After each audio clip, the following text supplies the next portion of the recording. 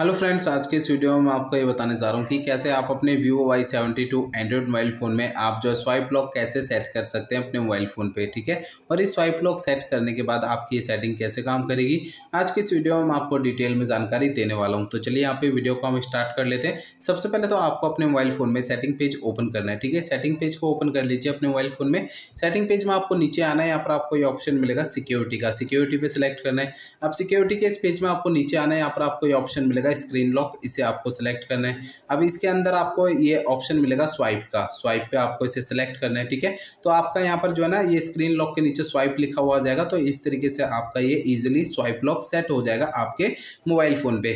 अब मैं आपको ये भी बता देता हूँ कि कैसे ये सेटिंग जो है ना, काम करेगी स्वाइप लॉक सेट होने के बाद, ठीक है? तो यहाँ पर जब भी आप अपने मोबाइल फ़ोन की स्क्रीन को ऑफ़ करेंगे, ठीक है? इसके बाद स्क्रीन को ऑन करेंगे तो यहाँ पर आपके मोबाइल फ़ोन की ये जो है ना, इस, यहाँ पर इस तरीके से स्वाइप लॉक लगा हुआ नज़र आएगा। अगर आपको अपने फ़ोन को अनलॉक करना है तो आपको नीचे से ऊपर की तरफ़ ऐसे लंबा स्लाइड करना है तो आपका फ़ोन अनलॉक हो जाएगा, ठीक है?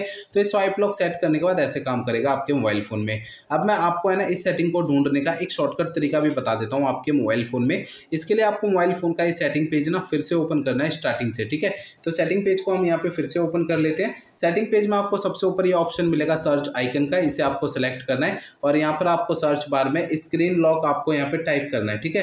स्क्रीन लॉक तो आपको जो है ना नीचे की साइड ये स्क्रीन लॉक का ऑप्शन शो हो जाएगा। यहाँ पर आपको एक बात का ध्यान रखना है कि जब भी आप सर्च बार में सेटिंग का नेम आप टाइप करेंगे तो यहाँ पर आपको स्पेलिंग मिस्टेक नहीं करनी है। अगर आप यहाँ पे स्पेलिंग मिस्टेक करेंगे तो आपको नीचे ये ऑप्शन दिखाई नहीं देगा, इस बात का आपको ध्यान रखना है। तो चलिए वीडियो को आगे कंटिन्यू कर लेते हैं। आपको स्क्रीन लॉक का ये वाला ऑप्शन सेलेक्ट करना है, जिसके नीचे सेटिंग सिक्योरिटी लिखा होगा। इससे क्या होगा, आपका मोबाइल फ़ोन आपको डायरेक्टली सेटिंग में लेकर आ जाएगा और इस सेटिंग को हाईलाइट करेगा। तो ये मैंने आपको एक शॉर्टकट तरीका भी बता दिया है इस सेटिंग को ढूँढने का आपके मोबाइल फ़ोन में।